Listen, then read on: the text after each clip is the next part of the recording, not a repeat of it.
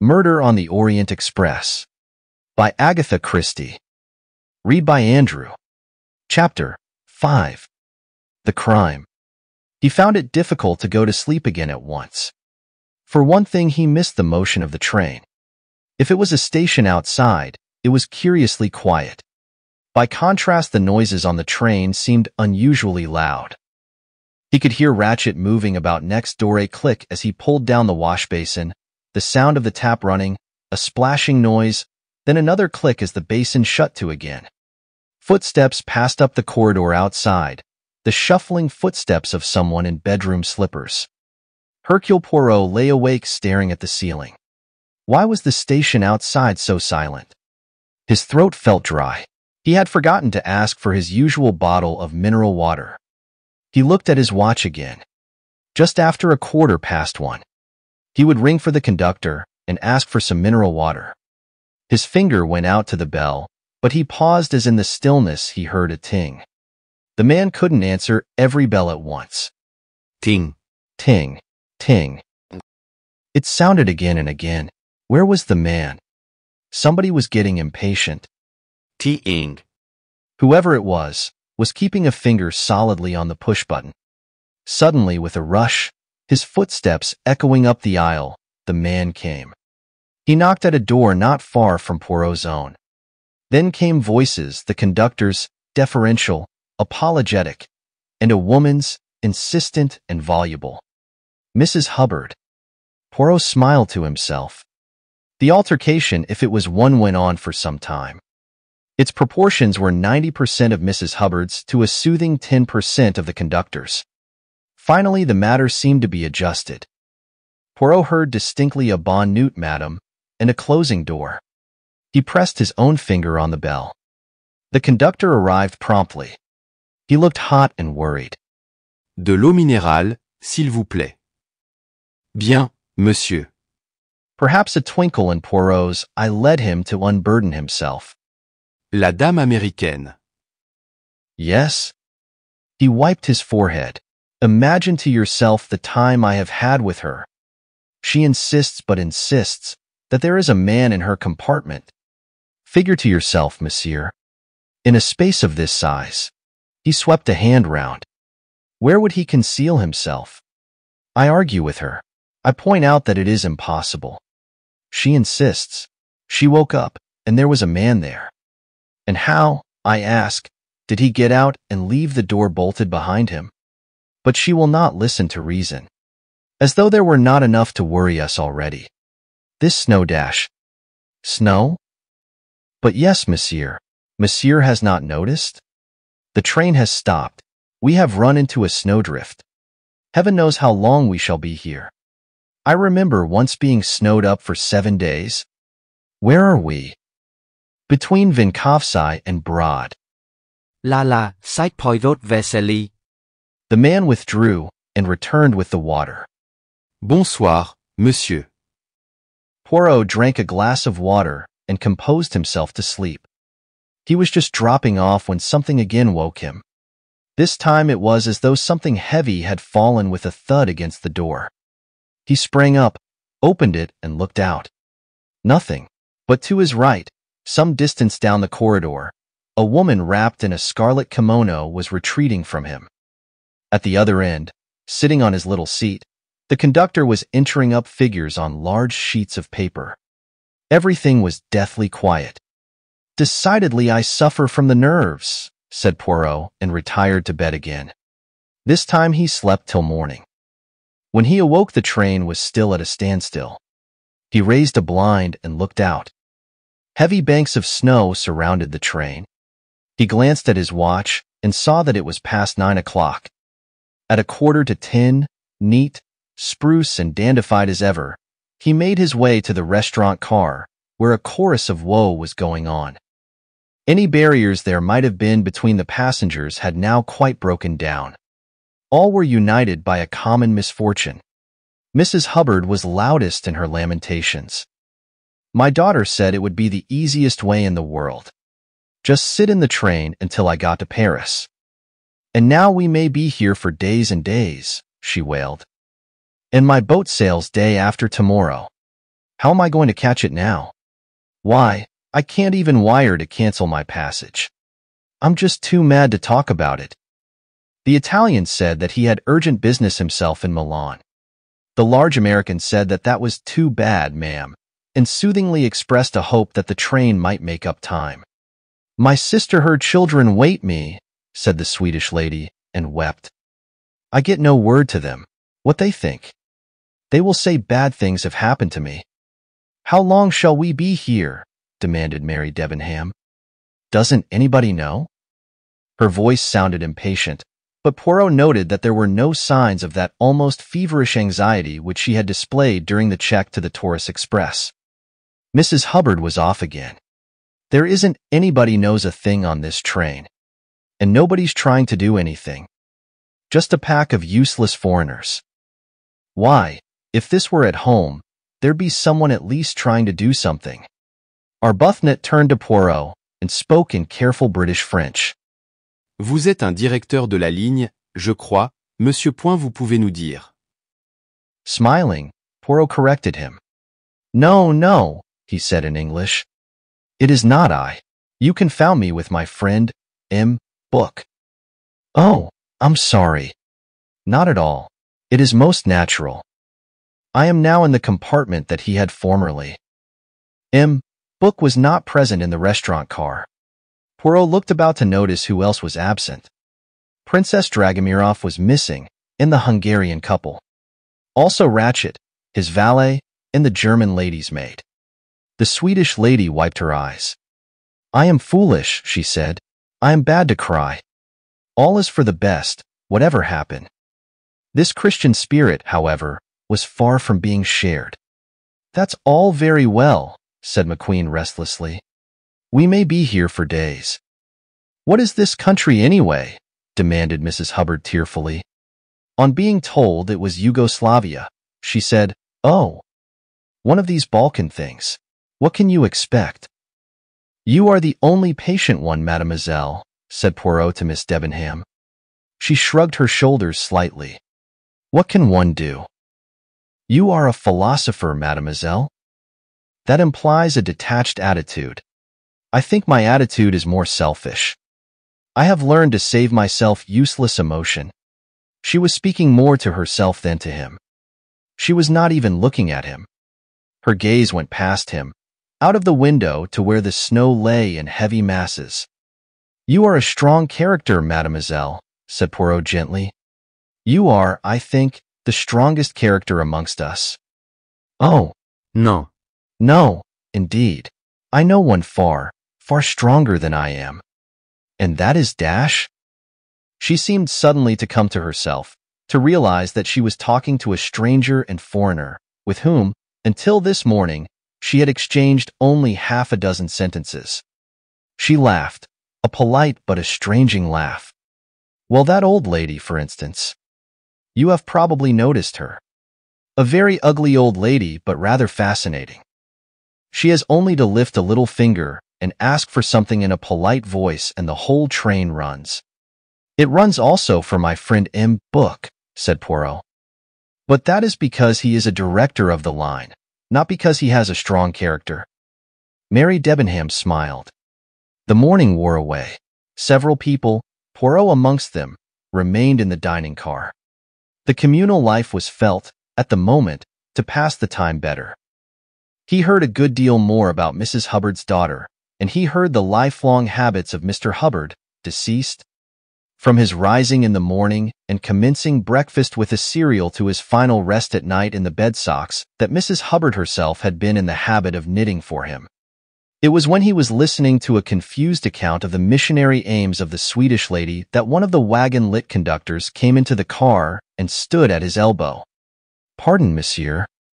Yes? The compliments of him, Bouc, and he would be glad if you would be so kind as to come to him for a few minutes.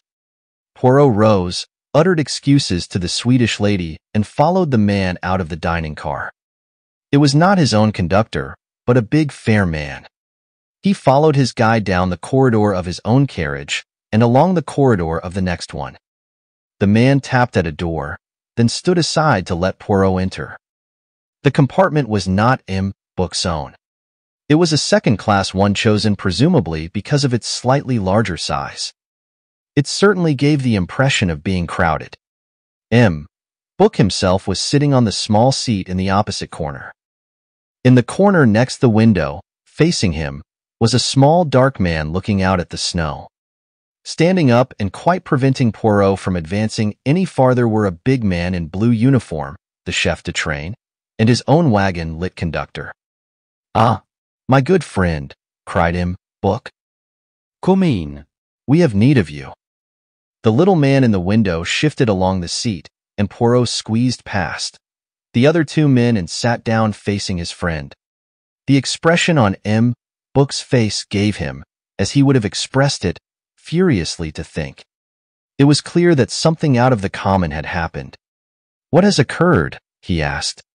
You may well ask that. First this snow, this stoppage. And now dash. He paused and a sort of strangled gasp came from the wagon-lit conductor. And now what?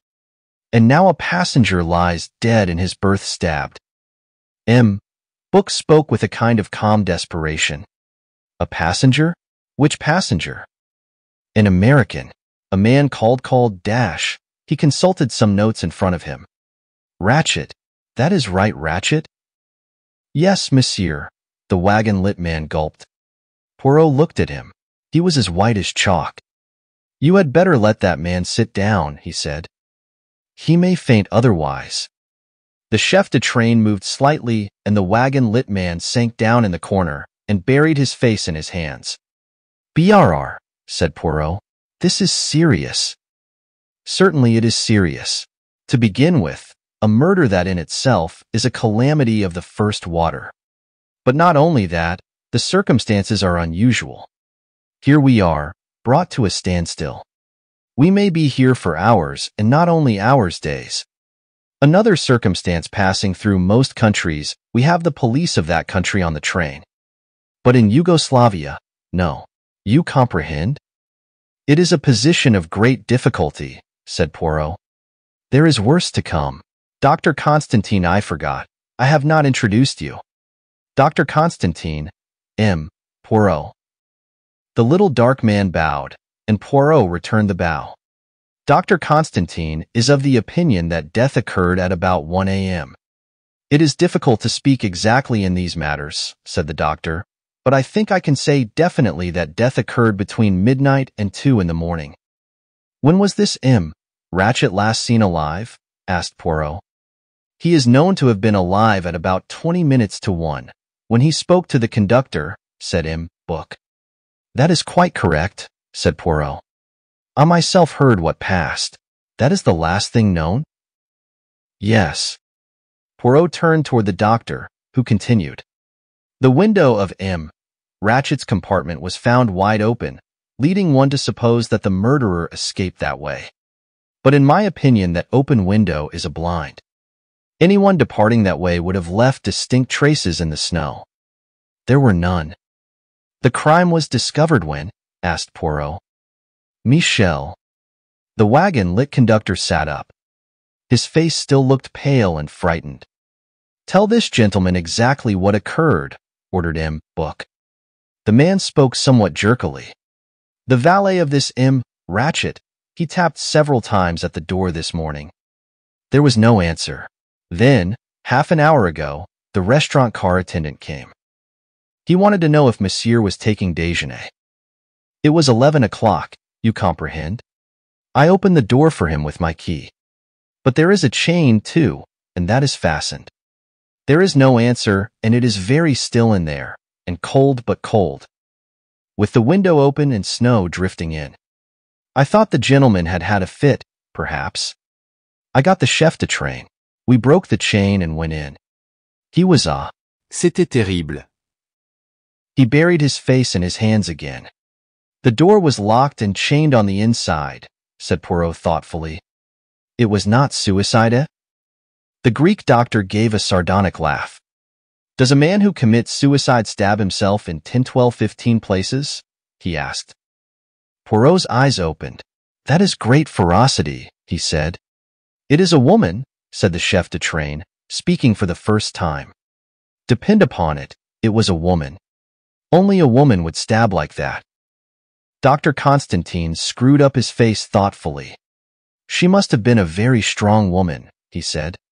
It is not my desire to speak technically that is only confusing, but I can assure you that one or two of the blows were delivered with such force as to drive them through hard belts of bone and muscle. It was clearly not a scientific crime, said Poirot. It was most unscientific, returned Dr. Constantine. The blows seem to have been delivered haphazard and at random. Some have glanced off, doing hardly any damage. It is as though somebody had shut his eyes and then in a frenzy struck blindly again and again. C'est une femme, said the chef de train again. Women are like that. When they are enraged, they have great strength. He nodded so sagely that everyone suspected a personal experience of his own. I have, perhaps, something to contribute to your store of knowledge, said Poirot. M. Ratchett spoke to me yesterday. He told me, as far as I was able to understand him, that he was in danger of his life. Bumped off, that is the American expression, is it not? asked him, Bouc. Then it is not a woman. It is a gangster or a gunman. The chef de train looked pained at seeing his theory come to naught. If so, said Poirot, it seems to have been done very amateurishly. His tone expressed professional disapproval. There is a large American on the train, dot, said M. Bouc, pursuing his idea. A common-looking man with terrible clothes. He chews the gum, which I believe is not done in good circles. You know whom I mean? The wagon-lit conductor to whom he had appealed nodded. Oui, monsieur, the number 16, but it cannot have been he. I should have seen him enter or leave the compartment. You might not. You might not. But we will go into that presently. The question is, what to do? He looked at Poirot. Poirot looked back at him. Come, my friend, said M. Bouc. You comprehend what I am about to ask of you. I know your powers. Take command of this investigation. No, no, do not refuse. See, to us it is serious I speak for the Compagnie Internationale de Wagons Lits. By the time the Yugoslavian police arrive, how simple if we can present them with the solution. Otherwise delays, annoyances, a million and one inconveniences. Perhaps, who knows, serious annoyance to innocent persons. Instead, use all of the mystery. We say, a murder has occurred Thysis the criminal. And suppose I do not solve it? Ah, mon cher. M. Bouc's voice became positively caressing. I know your reputation. I know something of your methods. This is the ideal case for you. To look up the antecedents of all these people, to discover their bona fides, all that takes time and endless inconvenience. But have I not heard you say often that to solve a case a man has only to lie back in his chair and think? Do that. Interview the passengers on the train. View the body. Examine what clues there are, and then, well, I have faith in you. I am assured that it is no idle boast of yours. Lie back and think use, as I have heard you say so often, the little gray cells of the mind and you will know. He leaned forward, looking affectionately at the detective. Your faith touches me, my friend, said Poirot emotionally. As you say, this cannot be a difficult case. I myself last night, but we will not speak of that now. In truth, this problem intrigues me. I was reflecting, not half an hour ago, that many hours of boredom lay ahead whilst we are stuck here. And now a problem lies ready to my hand. You accept then, said M. Bouc eagerly. C'est entendu. You place the matter in my hands. Good we are all at your service. To begin with, I should like a plan of the Istanbul-Calais coach, with a note of the people who occupied the several compartments, and I should also like to see their passports and their tickets. Michel will get you those. The wagon-lit conductor left the compartment. What other passengers are there on the train? asked Poirot. In this coach, Dr. Constantine and I are the only travelers. In the coach from Bucharest is an old gentleman with a lame leg. He is well known to the conductor. Beyond that are the ordinary carriages, but these do not concern us, since they were locked after dinner had been served last night. Forward of the Istanbul Calais coach, there is only the dining car. Then it seems, said Poirot slowly, as though we must look for our murderer in the Istanbul Calais coach. He turned to the doctor. That is what you were hinting, I think. The Greek nodded. At half an hour after midnight, we ran into the snowdrift. No one can have left the train since then. M. Bouc said solemnly, the murderer is with us on the train now. For more audiobook like this, hit the subscribe button and click on the notification bell so you get notified when we post a new audiobook. Thanks for listening.